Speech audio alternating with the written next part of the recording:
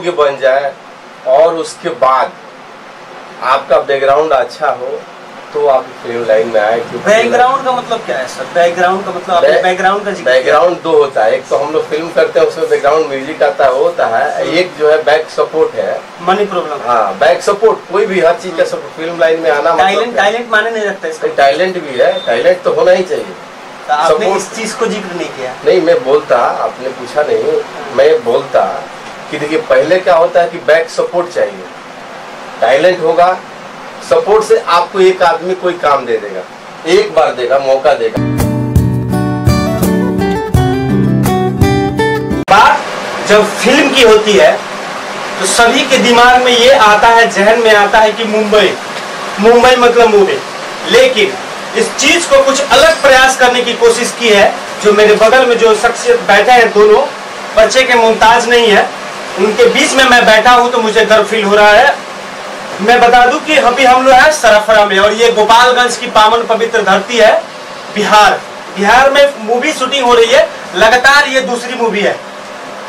सत्येंद्र जी का ये लगातार दूसरी मूवी है और इनके बारे में जो बता दूँ, लगभग सौ मूवी 100 मूवी ये कर चुके हैं और इस गोपालगंज के सबसे पहले आपका गोपालगंज में स्वागत है। बहुत बहुत धन्यवाद आपका और इसके लिए मैं बहुत बहुत शुक्रगुजार हूँ सत्येंद्र जी का जिन्होंने ये मौका मुझे दिया और गोपाल की इसकी धरती का सम्मान और यहाँ पर बहुत ही पवित्र जगह है तो काली माँ का मंदिर वहाँ जाके मैंने दर्शन किया। मंदिर। हाँ, बहुत बहुत। और आपसे बात करना चाहूँगा। आप सरकारी पोस्ट पे भी है। तो कौन सी पोस्ट पे है सर? आजकल मैं चीफ रेजिडेंट कमिश्नर हूँ नागालैंड हाउस दिल्ली। कमिश्नर है। तो सर, आप ड्यूटी के अलावा इसमें टाइम निकाल लेते हैं। हाँ क्योंकि ये मेरा पैशन है, लेकिन मैं ये काम करता हूँ हमेशा अपनी छुट्टी के दिनों में, चाहे फ्राइडे की शाम से लेकर मंडे की मॉर्निंग तक। उसके बाद तो फिर ऑफ़िस रहता है तो मैं अपने प्रोफेशनल वर्क पर कॉम्प्रोमाइज़ नहीं करता हूँ। जो मुझे प्रोफेशन प्रति बहुत सारी रिस्पॉन्सिबिलिटीज़ हैं, दायित्व हैं तो वो तो मैं अपना कार्य करता ही हूँ।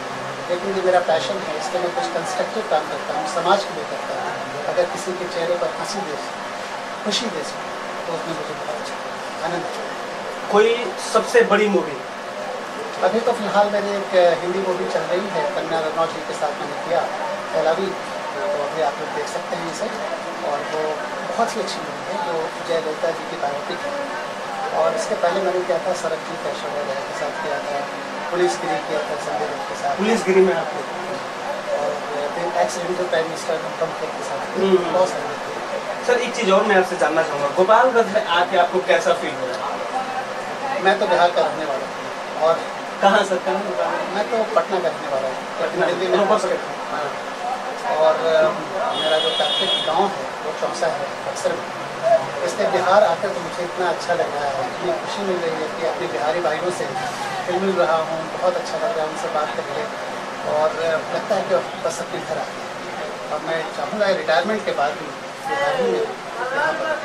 बचपन तो याद नहीं आ गया बचपन याद है छपरा में हमारा जन्म हुआ। तो कुछ सालों की याद है वहाँ पर। पटना में तो पढ़ाई लिखाई हुई। उसके बाद नौकरी पेशा में आया।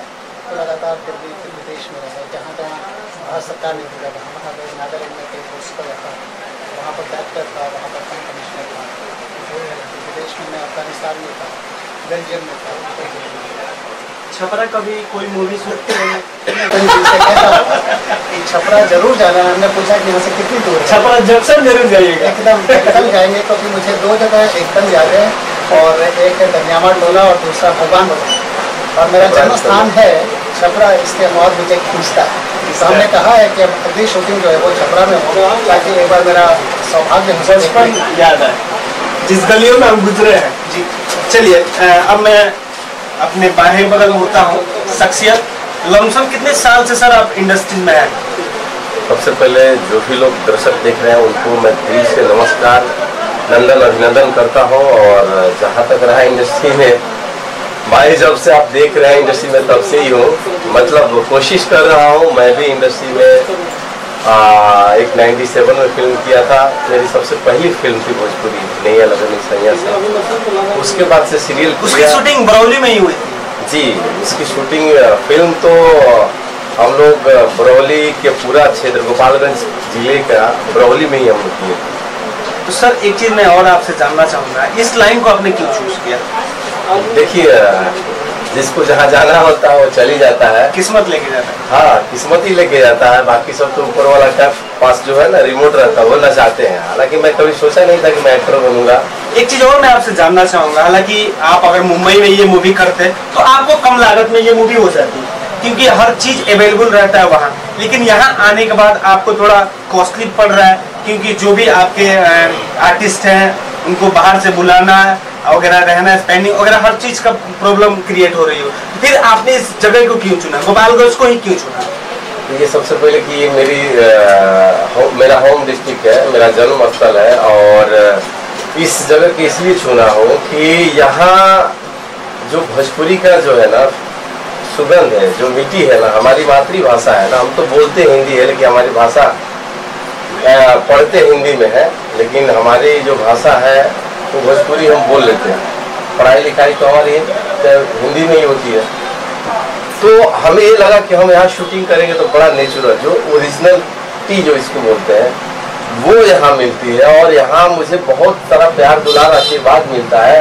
जो नेचुरल चीज़ मिलती है वो पानी नाव जो पेड़ पौधे बगीचा कुछ भी बनावट नहीं।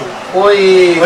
की नहीं कोई बनावटी नहीं एकदम बहुत ही अच्छा। एक चीज़ और मैं जानना चाहूँगा जो युवा है आपके साथ जुड़ना चाहते हैं या उनके अंदर टैलेंट है वो जुड़ना चाहते हैं उनके लिए एक अच्छा प्लेटफॉर्म भी आप दे रहे हैं। मुझे जहाँ तक जानकारी मिली आप लोग जॉब भी दे रहे हैं और टैलेंट भी दे रहे हैं। तो अगर वो लड़के आपसे जुड़ना चाहें तो उसके लिए क्या प्रयास करना होगा? देखिए सबसे पहले कि मैं बहुत लोगों को गोपालगंज ज़िले में जो एक कलाकार है उनको मैंने काम दिया है अपनी फ़िल्म में दिया है। बट ये नहीं है कि आप फ़िल्म पहले आप पढ़ाई लिखाई करें पढ़ें अच्छा योग्य बन जाए और उसके बाद आपका बैकग्राउंड अच्छा हो तो आप फ़िल्म लाइन में आए क्योंकि बैकग्राउंड का मतलब क्या है सर बैकग्राउंड का मतलब बैकग्राउंड का बैकग्राउंड दो होता है। एक तो हम लोग फ़िल्म करते हैं उसमें बैकग्राउंड म्यूज़िक आता होता है। एक जो है बैक सपोर्ट है। मनी प्रॉब्लम हाँ बैक सपोर्ट कोई भी हर चीज़ का सपोर्ट फ़िल्म लाइन में आना टैलेंट टैलेंट माने नहीं रखता टैलेंट भी है टैलेंट तो होना ही चाहिए। आपने इस चीज़ को ज़िक्र नहीं किया। नहीं मैं बोलता आपने पूछा नहीं मैं बोलता कि देखिए पहले क्या होता है कि बैक सपोर्ट चाहिए।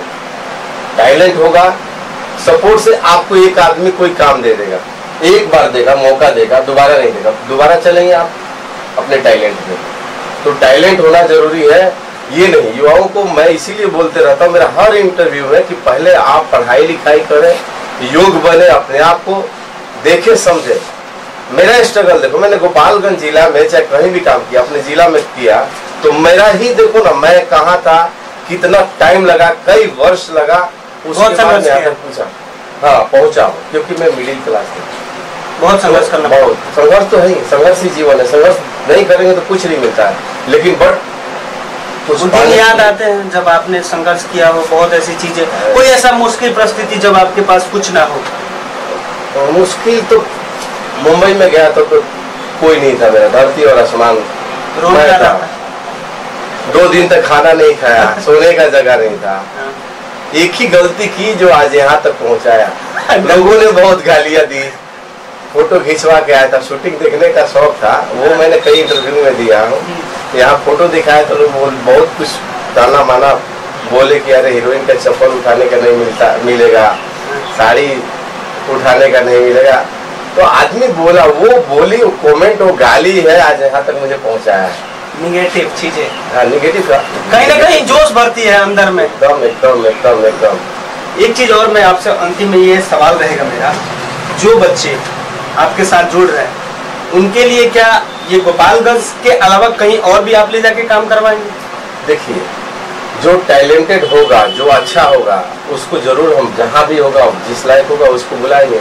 मुंबई भी बुला सकते हैं यूपी बुला सकते हैं आउट ऑफ़ कंट्री भी लेके जा सकते हैं लेकिन उस लायक होना चाहिए टैलेंट एक चीज़ और मैं आपसे इसी में जोड़ना चाहूँगा। ये जो मूवी है आपकी पूरी कंप्लीट कहाँ शूट होगी? यहाँ या अदर स्टेट में या अदर डिस्ट्रिक्ट में? देखिए मैं कोशिश तो मेरा ये है कि पहले एक, पार्ट है मैं गोपालगंज करूँगा क्योंकि मैंने भूचाल फ़िल्म पूरी गोपालगंज जिला में ही अच्छा भूचाल कब रिलीज़ आ रही है? लोगों का ये सवाल है भूचाल कब आ रही है पर्दे पे? देखिए अभी तो बहुत हम लोग महामारी से गुजरे हुए हैं जो कोरोना काल में हम लोग जो गुजरे हैं अभी थिएटर खुल रहे हैं अगर ऐसा रहा कोशिश है हमारी कि हम छठ में करें। अगर छठ में सब कुछ अच्छा रहेगा तो छठ में नहीं तो होली में तो हंड्रेड परसेंट करेंगे। होली में रिलीज़ एकदम एकदम। ट्रेलर मिल जाएगा पहले देखने के लिए आप लोगों को गाने मिल जाएँगे। आप सबका आशीर्वाद रहा तो बहुत जल्द ये पिक्चर मिलेगी देखने को मिलेगी और ये भी मिलेगा। ये दम है तो आजा भी मिलेगा। इस मूवी का नाम है दम है तो आजा। अभी जो शूट कर रहे हैं आपके सामने आपके बाज़ार में अ, हमारे मार्केट बाज़ार है मेरा जन्म स्थल है तो यहाँ मैं कर रहा हूँ तो मुझे खुशी मिलती है कि जो लोग आज मुझे देख रहे हैं जो बच्चे देख रहे हैं आप सबके लोग भाई हैं जो देख रहे हैं उनको भी ये उत्तेजना मिल रही है उनको भी सीखने को मिल रहा है कि यार आज इन्होंने दूसरी फ़िल्म शूट कर रही की है और सारी जनता जो हमारे गार्जियन है बच्चे हैं भाई है सब लोग को बहुत अच्छा लग रहा है और वो बहुत दिल से आशीर्वाद दे रहे हैं। तो आप लोग ऐसे ही आशीर्वाद देते रहिए। मैं फ़िल्म शूट करूँगा आप लोग का हेल्प और प्यार चाहिए। जगह पे शूटिंग करने वाले कुछ आइडिया है? अभी जो फ़िलहाल मैं पिक- पिक्चर कर रहा हूँ दम है तो आजा उसके सतेंद्र स्टार है हीरो है। और ज्योति जी है और निधि झा है राज प्रेमी जी है। और यहाँ शूट करने का सबसे मेरा टारगेट यही है कि यहाँ के लोग सिनेमा से जुड़े। लोग गोपालगंज के यूथ यूथ गोपालगंज जिला जो है बहुत सक्षम है सर। टैलेंट टैलेंट है। यहाँ के लोग बहुत बहुत अच्छा कर रहे हैं करते हैं। तो ये चीज़ें जो है ना देखना चाहिए। मैं ये इस फ़िल्म को यही शूट करने वाला हूँ। जो लोकेशन पिछली बार भी मैंने भूचाल किया बहुत अच्छे लोकेशन हैं। यहाँ के लोग जुड़ते हैं अच्छी मेहनत करते हैं बहुत सपोर्ट करते हैं मैं तो बहुत खुश हूँ। कुछ लोकेशन चेंज होगा सर कि सेम रहेगा? नहीं नहीं सेम तो नहीं देगा ना। हर फ़िल्म को एक ही जैसा नहीं नहीं कर सकते एक ही लोकेशन पर नहीं कर सकते। अभी हमने यहाँ किया तो दूसरा विलेज पकड़ेंगे दूसरा घाट पकड़ेंगे दूसरा क्षेत्र पकड़ेंगे मगर जिला वही होगा गोपालगंज। तो उसमें। सर अश्लील के बारे में क्या बोलना चाहेंगे? भोजपुरी में जो अश्लीलता है उसके बारे में छोटा सा मैं सर सच्ची बोलूँ मैं नफरत करता हूँ उन लोगों से जो अश्लील दिखाते हैं। बड़ी बड़ी बातें करते हैं कि मैं भोजपुरी की बढ़ावा दे रहा हूँ वो बढ़ाते नहीं हमारी भोजपुरी को जो है खत्म कर रहे हैं इंडस्ट्री बनना है इंडस्ट्री बदनाम होती है हिंदी वाले मज़ाक करते हैं साउथ वाले मज़ाक करते हैं और कोई भी बोलता है भोजपुरी अच्छा भोजपुरी कर रहे हैं? नहीं। हमारे जैसे डायरेक्टर मैं सोलह फ़िल्म कर चुका हूँ हिंदी। तो मैं मेरा मेरी भाषा है मेरे क्षेत्र के लोग हैं मैं उत्तर भारतीय हूँ और उत्तर भारतीयों के लिए मैं अच्छा करता हूँ और करता रहूँगा। मैं किसी को ये नहीं बोलता हूँ कि ये भाषा को मैं प्रमोट कर रहा हूँ ये कर रहा हूँ मगर आप अपनी भाषा को गंदी मत करो।